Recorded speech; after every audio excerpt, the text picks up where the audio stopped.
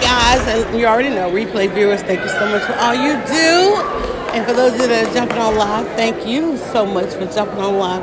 And we made it off the couch into the human, Civil and Human Rights Museum. And so we're gonna go around and we're gonna get a tour here. And I just walked over here from the streetcar, so I'm like, take the stairs now or take the stairs later. I have, it's been a minute since I've been through the museum. So we'll see what parts are open. Uh, and there's also a bar. It's called Party with the Past. Um, as you know, a lot of 50th commemorations are going on.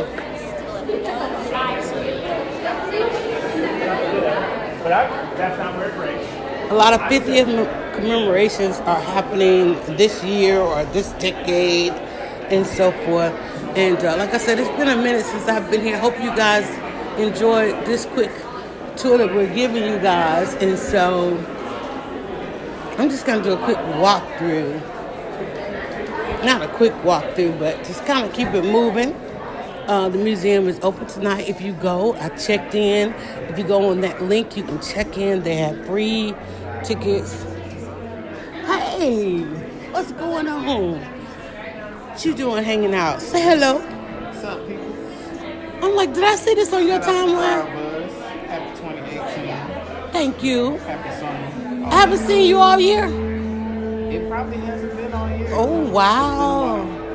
Wow. We'll catch up. Don't leave without catching up with me. So, um, those of you that haven't been down here, right downtown Atlanta, right here at the where the World of Coca-Cola, the what do you call that thing? Aquarium, Georgia Aquarium, and uh, I've come in a few times. So we'll we'll walk. Um, today they have free admission. It's party with past. They got jazz. They've got bars. It's gonna be open until about 9:30. I parked away as I always do when I come downtown. I park away and I take the streetcar, and or either a Lyft. You can take the streetcar or a Lyft over.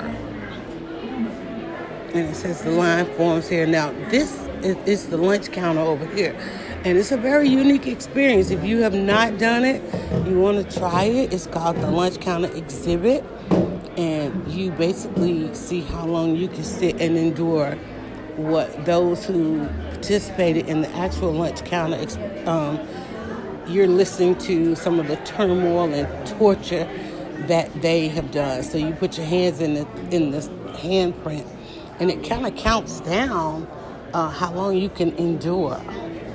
And it is difficult. It is a def- definitely a difficult thing if you haven't done it. A number of people that were arrested as part of the civil unrest. Uh, lots of familiar faces. If you live long enough, you know a lot of these people especially if you lived here in the South. Very interactive museum.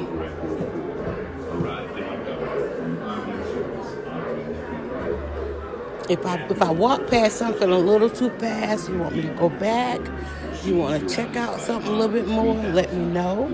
And again, we got to change. She's starting hers.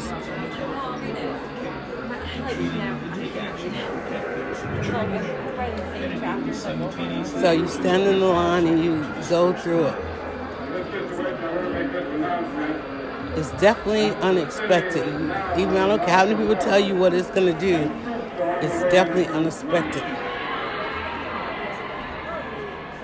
The violence was quelled, and under pressure from Washington, the governors of Alabama and Mississippi both agreed to have state police and the National protect the Freedom Riders. On Wednesday morning, May 24th, state police and National Guardsmen escorted a dozen Freedom Riders from Montgomery to Jackson, Mississippi. Upon arriving in Jackson, the riders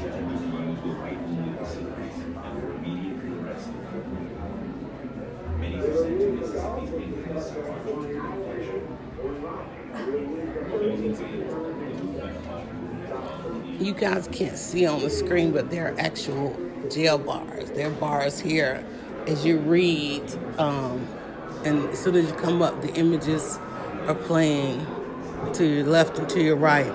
and you're reading the letter that Dr. King wrote from the jail. Very interactive, very interactive.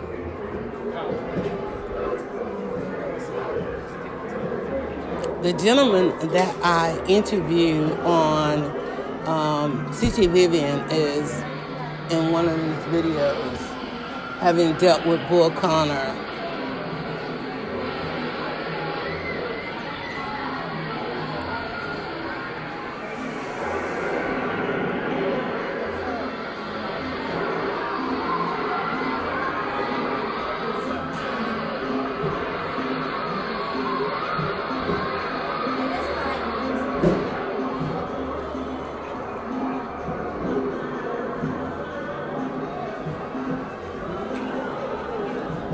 So again, the museum is open today. Party with the past, they're calling it. Um, it's actually two, maybe three levels. Uh, so you wind your way through up the stairs to the second level.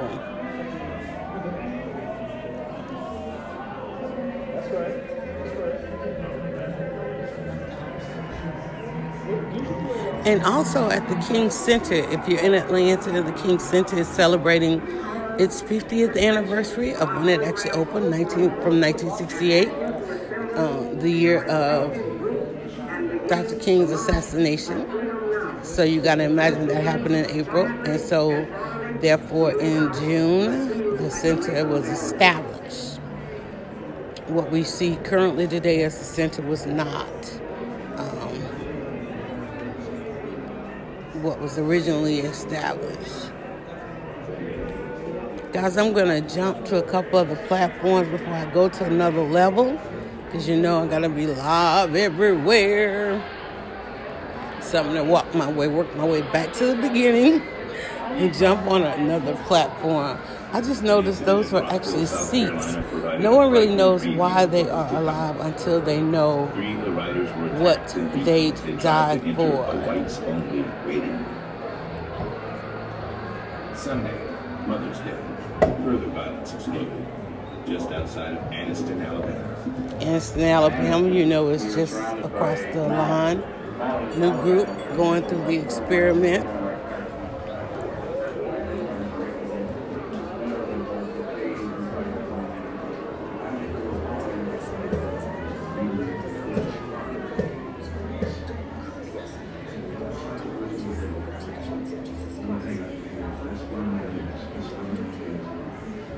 Guess that's all she can take.